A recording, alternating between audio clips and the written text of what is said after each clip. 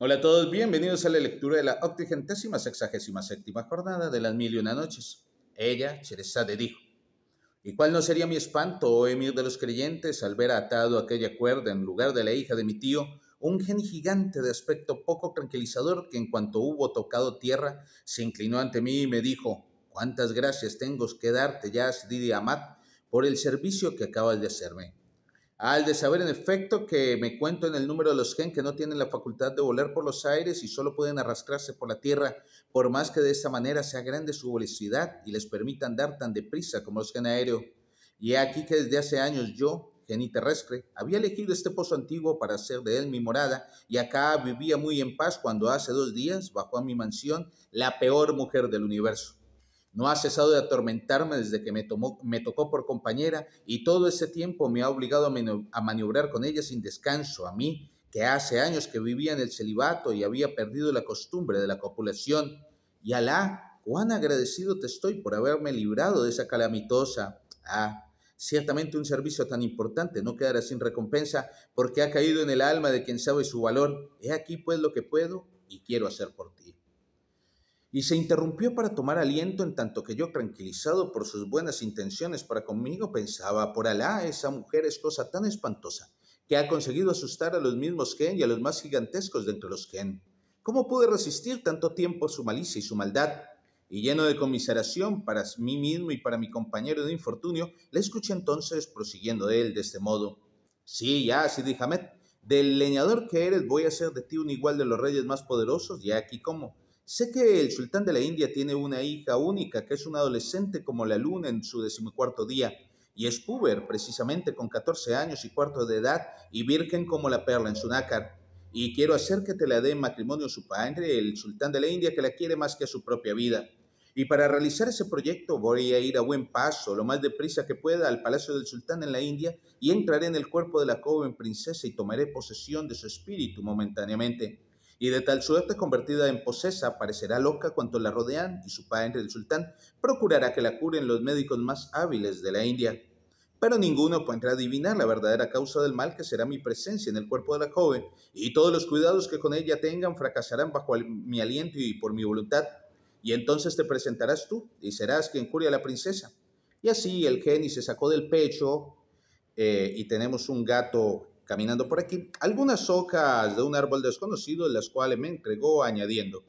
una vez que se te haya introducido la presencia de la presencia enferma, la examinarás como si ignorases completamente su mal, tomarás, por actitud, tomarás actitudes cabizbajas y pensativas para imponerte con ellas a tu alrededor y acabarás por coger una de estas hojas que empaparás en agua y con la cual frotarás el rostro de la joven. Y al punto me veré forzado a salir de su cuerpo, y en aquella hora y en aquel instante recobrará ella la razón y tornará a su estado pristino. Y en vista de ello, como recompensa la curación verificada, serás esposo de la joven hija del rey. Y esta es, Yazid Jabat, la manera como quiero corresponder al servicio capital que me has hecho, librándome de esa mujer aterradora que ha venido a hacerme imposible la estancia en mi pozo, el tranquilo paraje donde esperaba yo que transcurriese mis días en el retraimiento. Y Alá maldiga a la calamitosa. Y tras de hablar así, el genio se despidió de mí, apremiándome para que me pusiese en camino hacia el país de la India, me deseó buen viaje y desapareció a mis ojos corriendo por la superficie de la tierra como un navío empujado por la tempestad. Entonces, oh mi señor, al saber que en la India me esperaba mi destino, no vacilé en seguir las instrucciones del genio y en ponerme al punto en camino para aquel país lejano y Alá me escribió la seguridad y después de un largo viaje lleno de fatigas, de privaciones y de peligros que no hay ninguna utilidad en narrar a nuestro amo, llegué sin contratiempo al país de la India donde reinaba el sultán, padre de mi futura esposa, la princesa. Y llegado de tal suerte al término de mi viaje, me enteré de que en efecto hacía ya algún tiempo que habíase declarado la locura de la princesa, la cual tenía sumidos en la mayor consternación a la corte y a todo el país, y que después de haber empleado en vano la ciencia de los médicos más hábiles, el sultán había prometido en matrimonio a la princesa al que la curara. Entonces ya, oh emir de los creyentes, seguro de las instrucciones que me había dado el geni y sin ninguna inquietud respecto al éxito, me presenté a la audiencia que una vez al día concedía el sultán a los que querían ensayar una curación para el espíritu de la princesa. Y entré con toda confianza en el aposento donde estaba encerrada la joven y no dejé de poner en práctica la lección del geni, adoptando todo género de actitudes importantes para que se me tomase completamente en serio. Luego, una vez que me impuse a cuantos me rodeaban y ni sin hacer ni una pregunta acerca del estado de la enferma, mojé una de las hojas y froté con ella el rostro de la princesa. Y al instante la joven fue presa de convulsiones, lanzó un grito estridente y cayó desvanecida. Era que el genio, con la impetuosidad de su salida del cuerpo de la joven, había producido aquel estado que hubiera podido asustar a cualquier otro que no fuese yo. Pero lejos de mostrarme alarmado, rocié con agua de rosas el rostro de la joven y la hice volver en sí. Y se despertó con su cabal razón y se puso a hablar a todo el mundo con cordura, dulzura y aplomo, reconociendo a quienes la rodeaban y llamando por su nombre a cada cual. Y fue muy grave, grande el júbilo en palacio y en toda la ciudad, y el sultán de la India, en agradecimiento al servicio prestado, no renegó de su promesa y me concedió a su hija, y aquel mismo día se celebraron nuestras bodas con la mayor pompa en medio del regocijo y la felicidad de todo un pueblo. Y aquí, como llegué a ser esposo de la princesa, hija del rey de la India, en cuanto a la segunda princesa, quien viste sentada en el lado, izquierdo del palaquín, oh emir de los creyentes, he aquí lo que pasó. Cuando el genio gigante hubo abandonado el cuerpo de la princesa de la India en virtud del pacto concertado entre nosotros, torturó su espíritu para saber a dónde iría a habitar en lo sucesivo, pues que ya no tenía albergue y el pozo seguía ocupado por la calamitosa hija de mi tío. Por otra parte, durante su estancia en el cuerpo de la joven, había acabado por tomarle el gusto a aquella especie de retiro y se había prometido a su salida de allí ir a escoger el cuerpo de otra.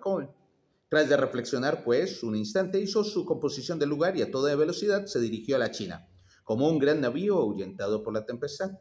Y no encontró nada mejor que ir a alocarse en el cuerpo de la hija del sultán de China, una joven princesa de 14 años y cuarto, bella como la luna en su decimocuarto día y virgen como la perla en su nácar. Y de repente la princesa posesa se entregó a una serie de contorsiones y movimientos desordenados y a un desbordamiento de palabras incoherentes que hicieron creer en su locura. Y por más que el desdichado sultán de China llamó a presencia de su hija a los más hábiles chinos, no consiguió que su hija volviera a su estado anterior,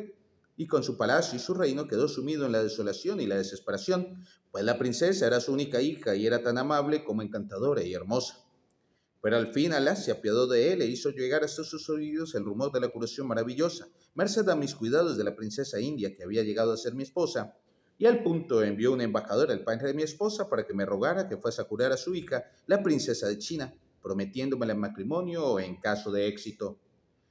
Entonces fui en busca de mi joven esposa, hija del sultán de la India, y la puse al corriente de la demanda y de la proposición que se me hacía, y logré convencerla de que podía muy bien aceptar por hermana a la princesa de China, que me ofrecían por esposa en caso de curación, y partí para China. Pero, oh emir de los creyentes, todo lo que acabo de contarte acerca de la posesión de la princesa china por el Kenny, solo hube de saberlo al llegar a China y de los propios labios del Kenny en cuestión, porque hasta entonces yo no conocía con exactitud la naturaleza del mal que sufría la princesa china y suponía que mis hojas llegarían a, a curarle cualquier dolencia. Por eso hube de partir lleno de confianza sin sospechar que era mi antiguo amigo el Kenny gigante quien había causado el daño eligiendo para domicilio el cuerpo de la hija del sultán.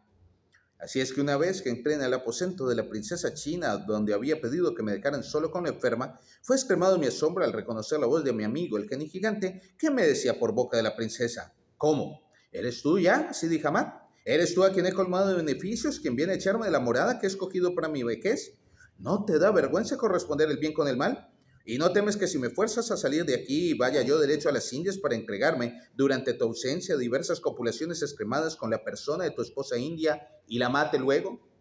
Y como no era poco lo que me asustaba aquella amenaza, se aprovechó de ello para contarme su historia a partir del día en que había salido del cuerpo de mi esposa india y por mi bien me adjuró que le dejara vivir tranquilo en el alocamiento que había escogido. Entonces yo, muy perplejo y sin caer en la falta de gratitud con aquel excelente genio que, en suma, había sido el causante de mi fortuna, ya iba a decidirme a volver al lado del sultán de China para declararle que me sentía incapaz de librar con mi ciencia de su mal a la princesa, cuando Alá infundió en mi espíritu una estratagema. Me encaré pues con el geni y le dije, oh jefe de los geni, corona suya, oh excelente, no es para curar a la princesa china por lo que he venido aquí, sino que hice todo este viaje para rogarte por el contrario que vengas en mi socorro. Sin duda te acordarás de aquella mujer con quien pasaste en el pozo algunos malos ratos, pues bien, aquella mujer era mi esposa, la hija de mi tío, y fui yo quien la arrojé a aquel pozo para tener paz. Y he aquí que la calamidad me persigue porque yo no sé quién ha podido sacar de allí a esa hija de perro. Pero el caso es que está en libertad y me sigue los pasos, va, va detrás de mí por todas partes y qué desgracia la nuestra, dentro de un instante estará aquí mismo y ya la oigo gritar con su voz aborrecible en el patio del palacio. Por favor, ayúdame, oh amigo mío, vengo a implorar tu concurso. En ese momento de su narración, Cherezada debió aparecer la mañana y se cayó discretamente. Y yo discreto, guardo silencio, no sin antes invitaros a que me acompañéis en la lectura de la octigentésima sexagésima octava jornada de las mil y una noches. Muchas gracias. Diga adiós, Corredel. Adiós.